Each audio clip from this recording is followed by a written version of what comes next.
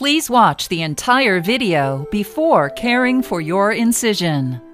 This video will teach you how to care for your incision. An incision is a cut made in your skin during an operation. The edges of your incision may be held together with stitches, staples, skin glue, or skin closure strips. A bandage called a dressing covers your incision. To prevent skin infections, keep your dressing clean and dry. Taking good care of your incision will help it heal more quickly. Caring for your incision involves cleaning your incision and changing your dressing. You will need new bandages, a roll of medical tape, clean scissors, two pairs of disposable gloves, two clean soft cloths or paper towels, a disposable plastic bag, and a wastebasket. Keep these materials away from your incision to reduce your risk of infection. Prepare materials. Step 1. Wash your hands with soap and water for 30 seconds and then dry them with a clean towel or paper towels.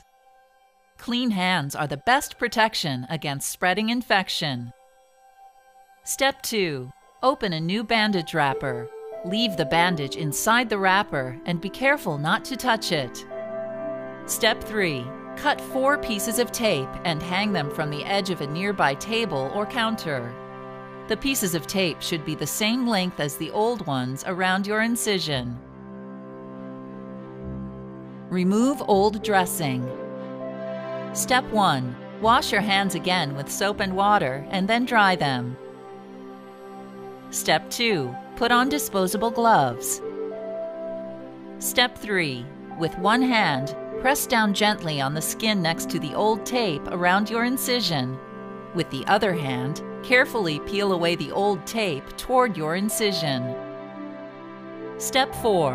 After loosening all of the tape, remove your old dressing.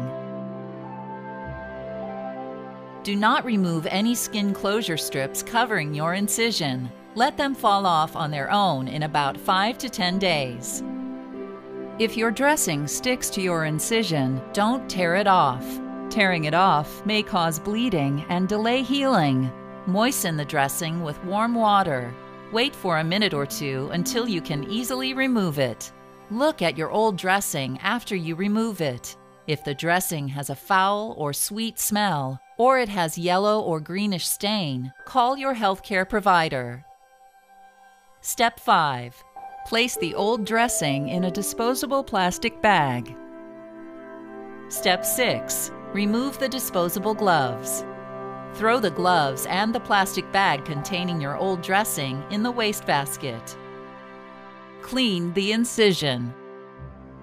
Clean your incision only if your healthcare provider says you should.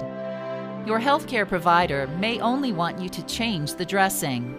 Make sure you understand what your healthcare provider wants you to do and be sure to call with questions or concerns. Step 1. Wash your hands with soap and water and dry them. Step 2. Put on a new pair of disposable gloves. Step 3. Always use a clean cloth, warm water, and if your healthcare provider says you can, a mild antibacterial soap to gently remove dried material from the area around your incision. Start with the areas nearest your incision and wipe outwards or away from the incision. Use a different part of the cloth each time you wipe your skin. When the cloth is dirty, use a new clean cloth. Do not scrub or remove any scabs. Scabs protect your incision while it heals. Allow them to fall off on their own. Do not wipe or rub over stitches, staples, or skin closure strips. Unless your healthcare provider says you should, do not clean your incision with alcohol, iodine, or peroxide. Step 4. Let your incision air dry. As it dries, check your incision for the following stitches or staples that are out of place, the edges of your incision pulling open, bleeding around your incision, redness that extends more than one inch from your incision edges, increased skin warmth around your incision, swelling around your incision, foul or sweet smelling incision odor, or a white, yellow, or green discharge coming from your incision. Call your healthcare provider if you notice any of these changes. Unless your healthcare provider says you should, do not use ointment, lotion, or powder on your incision. Step 5. Remove the disposable gloves and throw them away in the wastebasket. Apply new dressing. Step 1. Wash your hands with soap and water and dry them. Step 2. Put on a new pair of disposable gloves. Step 3. Pick up a gauze pad by one corner. Do not touch the side that will be next to your incision. Carefully cover your incision with the gauze pad. You may need more than one gauze pad if fluid is still coming out of your incision. Step 4. Hold the gauze pad in place with one hand and tape the gauze pad to your skin with the other hand. Make sure that you seal all four edges of the dressing.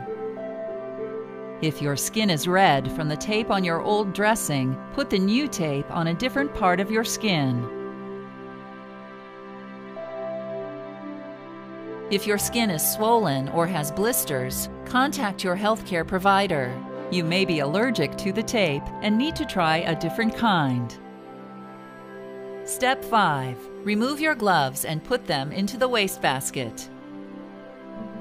Step 6. Wash your hands again with soap and water and dry them.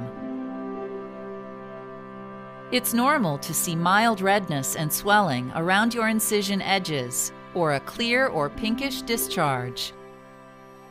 However, you should contact your healthcare provider if you notice any white, yellow, or green discharge coming from your incision, a foul or sweet incision odor, the shape of your incision changes, redness that extends more than one inch from your incision edges, increased warmth of the skin around your incision, and bleeding or swelling around your incision. Also, call your healthcare provider if you have nausea, vomiting, diarrhea, or a temperature of 101 degrees Fahrenheit or higher.